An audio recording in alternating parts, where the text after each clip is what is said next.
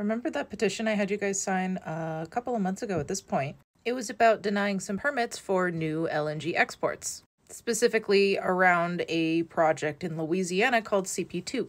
Well, if you didn't hear, the decision is being delayed pending an environmental assessment. However, the oil lobby has been putting in overtime since the decision was announced.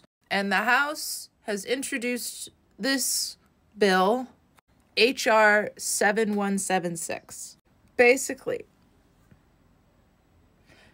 they want to take away the ability for the DOE to have authority on this.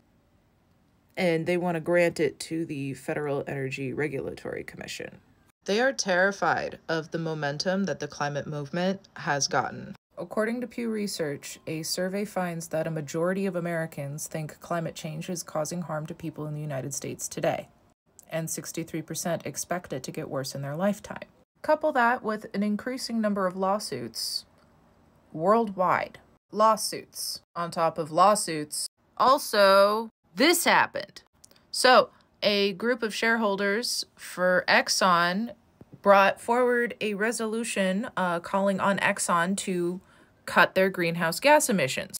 Uh, Exxon responded by suing their own shareholders. That it hadn't even gone to a vote.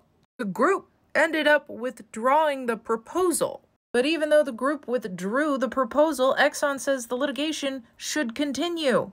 They got the religious investors involved saying, Exxon, yo, bro, too far. So thank you to all the folks who continue to do and amplify climate action. Why do I bring all that up? Well, what it means is public sentiment has shifted, uh, not in the favor of oil companies. And moves like this just read as insecure to me.